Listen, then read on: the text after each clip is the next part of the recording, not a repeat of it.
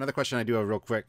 NPS 0821 is that new patrol ship? What does the NPS stand for? So in the uh, Bissig verse, I guess is what we're calling it. Yes. Um, the ship registrations reflect more a real world naval designation system, wherein Okay. uh, the canon universe you have NCC, and I don't know if anybody even really knows what NCC actually stands for. It's either naval construction contract or uh, navigational contact code. So you know, I always thought, well, I see the CC and my military brains. Well, CC is cruiser, so um, you know, so when I make non-cruiser ships, what's what's their designation? So it's a patrol ship. So and so it's naval patrol ship. You know, 821.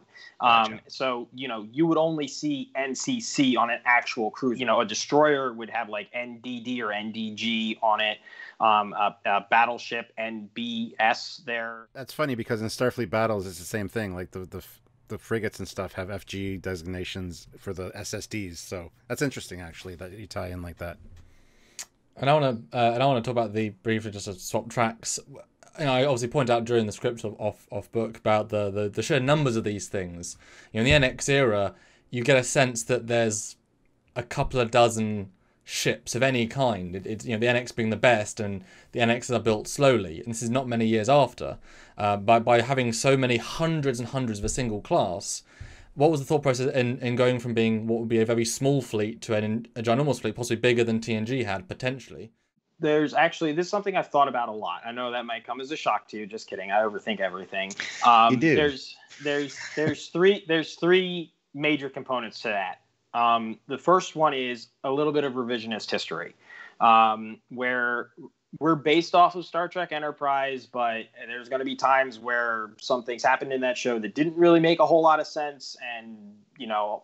This is all for fun, right? So, you know, I've already established we're not canon, so it's okay to do a little bit of revision as long as we write it down somewhere later. The second thing is looking at World War II um, and looking, and I've actually did uh, a, I made an Excel spreadsheet where I actually did the math of how many ships the United States built during the war, and I just looked percentagely at what we did, and percentagely, what I'm talking about here is really not that far off the mark from what the United States was doing. Um, and then on top of that, you add in two two critical factors. You add in modern technology of the 2150s, which is going to be you know 10 million times more advanced than what was you had in World War II, because a lot of this construction elements here are probably automated right at this point, where you have computers doing it. And then secondly, it's not just the United States; it's the entire planet Earth and all of the human colonies, and they're getting help from their allies, uh, you know, from at least four other major worlds. So, you know, if, if it, you, really you, you'd be throwing like 8 billion people into the, hey, we have to get this done category.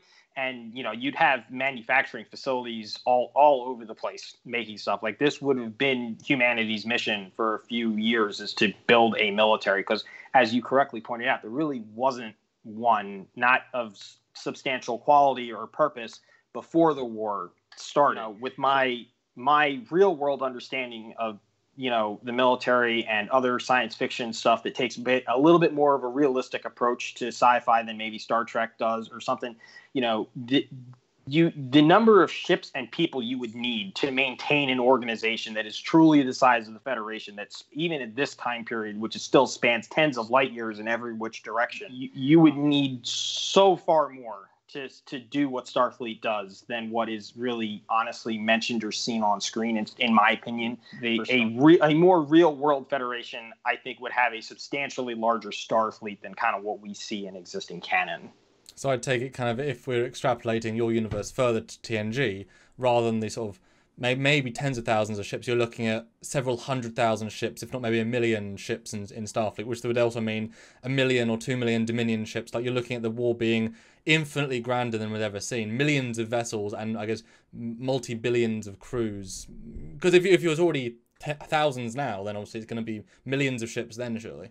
Yeah, and event and also what plays into that, which we talked about in the first part of the episode, is you know Star Trek is a TV show filmed by humans on Earth. So ninety nine percent of the crew members on all the ships are humans, right? In in my world, we're free of that tether, and you know you would have just as many Andorians and any other creature in the Federation as you would humans, right? And one of the things that I try to constantly allude to is the fact that, like, you know, it, it doesn't look like it does on the TV shows where it's all like you have one or two aliens on the ship and everybody else is human. Like, you know, it, it would be a very, very close percentage match per ship. And that's by design in this universe. Let's pretend that this isn't the Federation. Let's pretend this is Europe, and all of the nations of Europe are forming one giant military together. Um, don't you think France would want just as many soldiers in in this army as England would, especially in like leadership positions? Like they would want everything to be as equally percentageally divided as possible. So it's kind of a quota system. We've got to have like mandatory Andorian from their military to Federation. It's mandatory. You must have a certain percentage serving. They don't get a choice. I mean, that's kind of forceful. So I guess it's the military, but isn't the mid? That's what I was going to ask because yours is setting up a very militaristic Starfleet, which with the Kzinti conflict and the Romulan War, I can understand them pumping out the ships, getting that structure, which I kind of like because eventually I assume in the Bissig verse we're going to get some explorers and stuff that now that the, the conflicts have died down, we move towards that more because I it's always been the debate whether Starfleet's militaristic or not, and it clearly is. It's it's regimented that way, but then their philosophy is to explore, and then it goes in waves as far as how the conflicts change things. It's the only organization of it. You know, there's there, there's then there's the trade guys. So obviously, in comparison to the military side, because they put all eggs into the basket. Just real quick to touch back on the whole forceful conscription. So there's no drafts per se like it mm-hmm. you know mm-hmm. the the current united states military you know is fairly large it's 1.9 or 2.1 million people in the in all combined services right and none of the people who are in it were currently drafted right so the way i would look at it is they would go to their recruiters and say, "Hey, this is the quota you have to hit." And if you look online and you can read about it, like real world United States military recruiters have quotas that they're supposed to hit. They're, they're directed like, "Hey, you have to recruit X number of people." And these Federation recruiters would have that exact same mandate, but you know they would be doing things to incentivize people to want to join it. So you, it wouldn't so much be as a as a we're forcing you to do this. It's like, yeah, we have limits we have to hit to fill all these ships and everything, but we, we can make this look really appealing in advertising. And it also kind of sounds like because of these, you know, war and then another war, that it, it's semi conscription, but also that everyone who's joining is joining specifically to be a combat operator. There is no exploration at this point. So everyone, for a good 30 years of Starfleet, everyone is a soldier. Because no one's joining to explore. You can't explore. There is none of that. So you're looking at a full generation of Starfleet is, because there's, you know, join Starfleet to fight the Kzinti in, in your universe, it's purely military, and then obviously those guys get older, they become the admirals. I mean, Starfleet's probably going to be mil- in your verse military until well into late TMP. As generations, I mean, obviously it takes years and years to change mentality, but you know, you can imagine all the admirals are like, well, are these kids are exploring what's wrong with them, you know? So it's a much darker universe where military is the is the focus. That's, and that's why the, the admirals are all assholes because they got that old mindset and they want to steer things that way. So it is most definitely military front focused, not exploration focused. Because, you know, in my universe, the Romulan War wasn't like a thing with 10 ships that happened. It was like this massive quadrant spanning battle that almost eradicated like the main powers of the Alpha Quadrant, right? Uh, and you know, and it comes back to the whole canon balance of what what do I want to do versus canon, right? And you'll see that reflected in the ship designs too. Um, the ships that you, we've looked at so far have been post Romulan warships. Well, now the Thul beam cloak detection thing was interesting because when I was writing the script, your notes said sonar, and I'm like, ooh, Discovery made that mistake. No sonar in space, dude. So it would use uh, the, the deflection grid or the whatever to detect ships. Like I'm trying to figure out how that would work. So, so the way it works is at this point, especially after fighting the Romulans, the Federation has kind of under gotten the method that tachyon versus cloak means maybe we can kind of see where the cloak ship is or where it has been and kind of follow a trail of it because throughout okay. Star Trek history you see different iterations of this whole well let's do tachyon XYZ thing to locate cloak ship um, And um, I think one of the more famous examples is when you have the TNG episode where the Klingon Civil War is happening and Data runs the Nebula class with all the ships and they're shooting tachyon beams to each other. And uh, yes. I think that they also say the neutral zone has a tachyon detection grid along it. So this is kind of like an earlier version of that. And um, one of the things I think we'll see, not just in my universe, but already exists in Trek, is kind of like this cloak versus detection battle that keeps happening like this. It's really, it's obviously not one thing. Like if you look at Undiscovered Country, right? It was a big deal when they had a cloak ship that could also fire while cloaked. That would just be yeah. one thing up in, in this level. So, um, and you know, also in my universe, we've previously encountered the Suliban. This whole cloaking thing is nothing new to them. So maybe they can't see the cloak, but if they deploy this this uh, system that's on the ship here, and maybe mm. it's like you have your big fleet bubble here, and then it's like a cube, right? And then on each one of the corners, you have a ship with this thing on, it will see if a cloaked vessel is trying to like penetrate in within that bubble that they're making. So then you'll know right away, like, oh my God, there's a cloaked ship around us somewhere.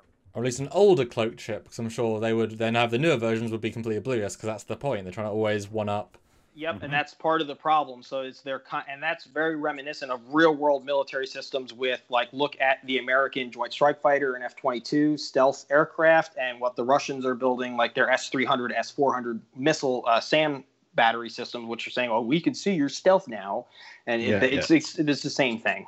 There's um a lot of design elements that I looked to my Discovery class ship that I invented for that that I wanted to uh, make sure we got in. So, you know, your favorite weapon system is in there all over the place. Is CMZ7 that you guys were so thrilled with on the on the Discovery class ship. Hopefully, like the design. Hopefully, you guys can look at the picture and point to be like, oh yeah, I know exactly where that is because like the way it's set up is like exactly the same on this ship as it was with the uh, Discovery class um, that I made. And same thing with stuff like you know the shield generators, the transporter equipment, the anti gravity stuff because in in the Bissig verse, the ships can't just fly into the atmosphere. They have to have some kind of mechanism to support them once they go into the atmosphere, else they'd fall out of the sky like a rock. Um, mm-hmm. you, they can't. I mean, in theory, you could just put your thrusters on full and hold, and hover yourself there, but in short order, you'd run out of thruster fuel and you'd fall out of the sky or or whatever. Um, Oh yeah, sorry. Another thing I forgot to mention was those blue balls you see on the sides mm-hmm. of it. Those are the beefed up inertial dampeners, and that's a design that you're going to see in further ships and other ships that I've made, but they're not going to be as beefed up as that. So th-, th- so this ship has inertial dampeners that are like way more heavily beefed up to work with this tachyon detection system. See here, like the pointy bits on the on the backside on top of the impulse engines, mm-hmm. those are actually like the communication uh, systems for subspace communication. These ships would be patrolling the neutral zone, and they needed a way to stay in constant contact via subspace. And if that yes. connection was broken, uh, Starfleet would know something went wrong, and they would send uh, reserve ships from a central location to that point. So those those four um, spiky bits you see on the impulse there, that that's the continuous subspace communication relay systems built nice. into the ship.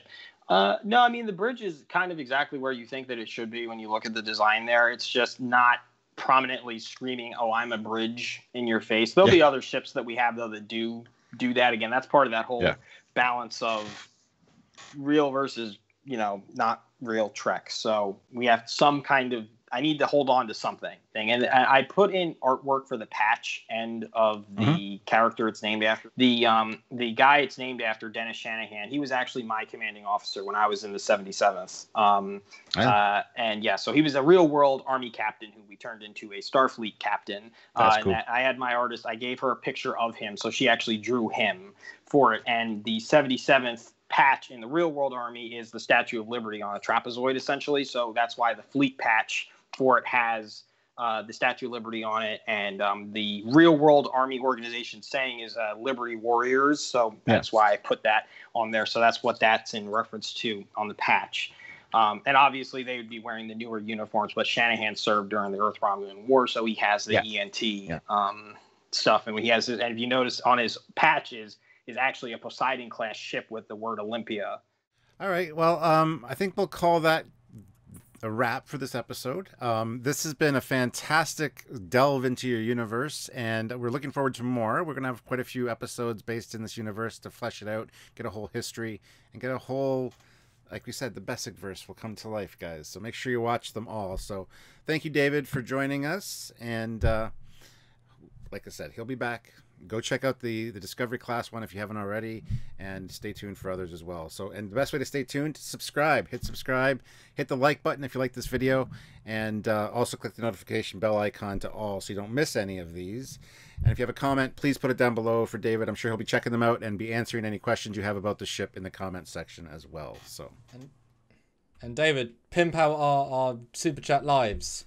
You can you can do that bit Oh, and guys, another great way to support the channel is super chatting. If uh, if you super chat, they have to read it out so you can steer the discussion. You can say something kind of crazy. You can say something really smart. Whatever makes you happy. So you should totally do it because it's good to engage, and that's engage. cool. Yes, like engage. you see, Stuart, as a commander, I finally get someone I can now order around and do my work for yeah, me. Yeah. You finally created the correct. Good.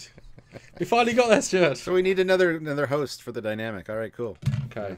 Ensigns, ensigns galore. Yeah. All right, guys. So until next time, I'm Captain Foley. I'm Quantacongs. I'm David Bissig. See you next See you later, guys.